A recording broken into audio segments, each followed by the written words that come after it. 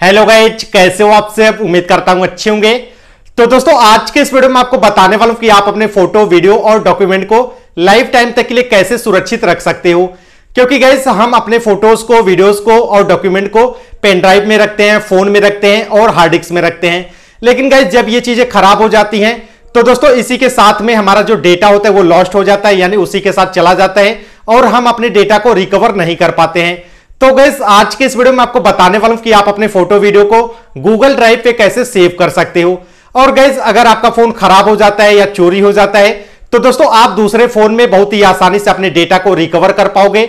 यानी आप अपने फ़ोटो और वीडियो को दोबारा अपने फ़ोन में वापस ला सकते हो बहुत ही आसानी से। और गैस इसकी खास बात यह है कि इसमें आप पंद्रह जीबी तक का डेटा सेव कर सकते हो। तो गैस चलिए मैं आपको बताता हूँ कि कैसे आप गूगल ड्राइव में लाइफ टाइम तक के लिए अपने फ़ोटो वीडियोस को सेव कर सकते हो। तो गैस आज का ये वीडियो काफ़ी इंटरेस्टिंग और काफ़ी इंपॉर्टेंट होने वाला है। बने रहिए हमारे साथ इस वीडियो में। स्वागत है आपका मेरे यूट्यूब चैनल मोरजी टेक्निकल में। मैं हूँ अमित कुमार। दोस्तों, अगर अभी तक आपने मेरे चैनल को सब्सक्राइब नहीं किया सब्सक्राइब कर लो यार, क्योंकि मैं ऐसे ही नए नए एप्लीकेशन से नए नए जानकारी से रिलेटेड वीडियो बनाता रहता हूँ। चलिए फ़ोन के होम स्क्रीन पे चलते हैं। तो गैस हम आ गए फ़ोन के होम स्क्रीन पे।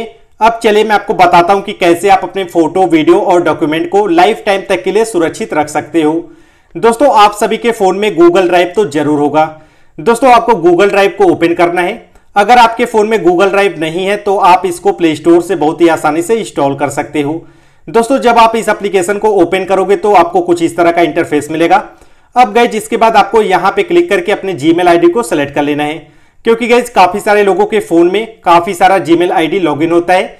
तो गैस जिस भी जीमेल आईडी में आपको अपना डेटा सेव करना है, आपको यहाँ पे क्लिक करके गैज, उसको सेलेक्ट कर लेना है। और गैज, आपको कुछ इस तरह का इंटरफेस मिलेगा।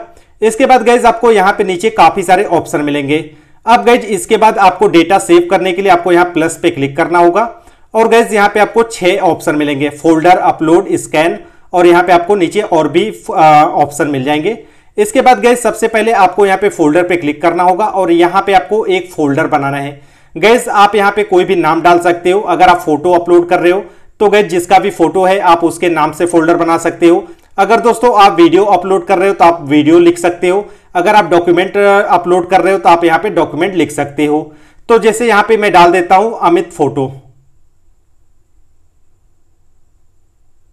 तो गैस, यहाँ पे मैंने अमित फ़ोटो डाल दिया है इस फोल्डर का नाम। अब आपको यहाँ क्रिएट पे क्लिक कर देना है। तो गैस, हमारा जो फोल्डर है, वो क्रिएट हो चुका है। अब हम इस पर क्लिक करते हैं। इस पे गैस जब आप क्लिक करोगे तो कुछ इस तरह का इंटरफेस मिलेगा। अब इसके बाद आपको यहाँ प्लस पे क्लिक करना होगा और गैस यहाँ पे आपको दूसरे वाले ऑप्शन यानी अपलोड पे क्लिक कर देना है। तो गैस जब आप अपलोड पे क्लिक करोगे तो आपके फ़ोन की जो गैलरी है वो ओपन हो जाएगी। अब यहाँ पे आपको काफ़ी सारे ऑप्शन मिलेंगे फ़ोटोज़ का फ़ाइल मैनेजर का और यहाँ पे आपको डॉक्यूमेंट वगैरह के काफ़ी सारे ऑप्शन मिल जाएँगे। तो गैस यहाँ पे मैं उस फ़ोटो को सेलेक्ट कर लेता हूँ जिसको मुझे गूगल ड्राइव में सेव करना है। अब दोस्तों, यहाँ पे मैं थ्री लाइन पे क्लिक करता हूँ और गैलरी को ओपन करता हूँ। तो यहाँ पे आप देख सकते हो, हमारी जो गैलरी है, वो ओपन हो चुकी है।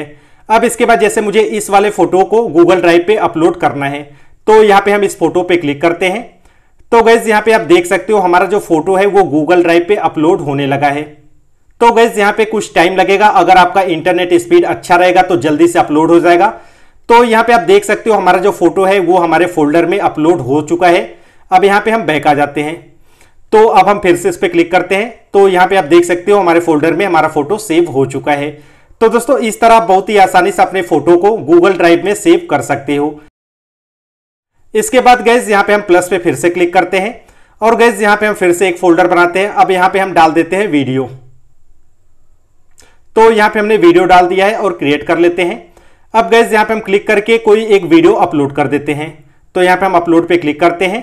इसके बाद गैस यहाँ पे आप जब स्क्रॉल करोगे तो आपको यहाँ पे वीडियो का भी ऑप्शन मिल जाएगा, आपको यहाँ पे क्लिक करना है। आपके फ़ोन में जितने भी वीडियो होंगे, आपको यहाँ पे शो हो जाएँगे। और गैस आपको उस वीडियो को सेलेक्ट कर लेना है जिसको आप अपलोड करना चाहते हो। तो यहाँ पे हम इस पर क्लिक करते हैं। तो यहाँ पे आप देख सकते हो, हमारा जो वीडियो है वो अपलोड होने लगा है। तो गैस यहाँ पे हमारा जो वीडियो है वो भी अपलोड हो चुका है। हम इस पर क्लिक करके यहाँ से प्ले भी कर सकते हैं। यहाँ पे आप देख सकते हो, हमारा वीडियो प्ले हो गया।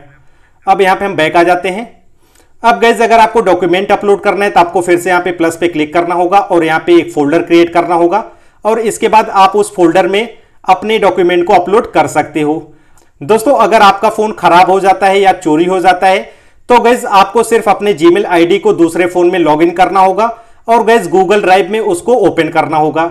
जब आप उसको ओपन करोगे तो आपको ये फोल्डर्स मिल जाएँगे। आपको सिंपली फोल्डर पे क्लिक करना होगा। और यहाँ पे थ्री डॉट पे क्लिक करना होगा और आपको यहाँ पे एक ऑप्शन मिल जाएगा डाउनलोड का। और गैस यहाँ से आप अपने फ़ोटो को वीडियो को डाउनलोड कर सकते हो। वो डायरेक्टली आपके फ़ोन के गैलरी में सेव हो जाएगा। अब दोस्तों, यहाँ भी आपको काफ़ी सारे फीचर मिलते हैं। जैसे यहाँ से आप डायरेक्टली अपने फ़ोटो वीडियो को शेयर कर सकते हो। और दोस्तों, आप अपने गूगल ड्राइव का लिंक किसी को भी शेयर कर सकते हो। और गैस जब आप अपना लिंक किसी को शेयर करोगे तो सामने वाला बंदा उस लिंक पे क्लिक करके आपके फ़ोटो वीडियो को डाउनलोड कर सकता है। गैस जैसे अगर आप चाहते हो किसी को अपना फ़ोटो देना तो गैस आपको अपने गूगल ड्राइव में अपने फ़ोटो को अपलोड करना है और उसका लिंक किसी दूसरे को दे देना है। गैस जब भी वो चाहेगा, आपके फ़ोटो वीडियो को डाउनलोड कर सकता है। इसके बाद गैस आप अपने फ़ोटो वीडियो को किसी भी एप्लीकेशन में ओपन कर सकते हो। यहाँ पे आपको काफ़ी सारे ऑप्शन मिल जाएँगे। इसके बाद गैस आपको यहाँ पे नीचे और भी ऑप्शन मिलेंगे। आप इसको मूव कर सकते हो प्रिंट कर सकते हो रीनेम कर सकते हो डाउनलोड कर सकते हो। तो दोस्तों इस तरह के यहाँ पे काफ़ी सारे फीचर दिए गए हैं। तो दोस्तों काफ़ी कमाल का एप्लीकेशन है। अगर आप अपने फ़ोटो वीडियो को आ, सुरक्षित रखना चाहते हो तो दोस्तों इससे बेहतर कोई भी तरीका आपको नहीं मिलेगा। और गैस यहाँ पे आप पंद्रह जीबी तक का डेटा सेव और सिक्योर कर सकते हो। यहाँ पे जब आप होम स्क्रीन पे क्लिक करोगे तो आपका जो इतना भी डेटा रहेगा आपको होम स्क्रीन पे शो हो जाएगा। इसके बाद गैस आपको यहाँ थ्री लाइन पे क्लिक करना है। और गैस यहाँ पे आपको स्टोरेज शो होता रहेगा कि कितना जीबी डेटा आपका फुल हो चुका है। और गैस यहाँ पे आप देख सकते हो मेरा जो जीमेल अकाउंट है, वो सिक्सटी टू तक फुल हो चुका है। और गैस यहाँ पे हमें पंद्रह जीबी का स्पेस मिलता है। यानी आप पंद्रह जीबी तक का डेटा यहाँ पे सेव कर सकते हो। और गैज इसको आप किसी भी फ़ोन में एक्सेस कर सकते हो। तो गैज इस तरह आप बहुत ही आसानी से अपने फ़ोटो वीडियो और डॉक्यूमेंट को लाइफ टाइम तक के लिए सुरक्षित रख सकते हो। तो गैज उम्मीद करता हूँ आपको ये वीडियो पसंद आई होगी। अगर वीडियो पसंद आई तो वीडियो को लाइक कर दो यार। चैनल पे नए आए हो, चैनल को सब्सक्राइब कर लो, क्योंकि मैं ऐसे ही नए नए एप्लीकेशन से रिलेटेड नए नए जानकारी से रिलेटेड वीडियो बनाता रहता हूँ। वीडियो को देखने के लिए धन्यवाद।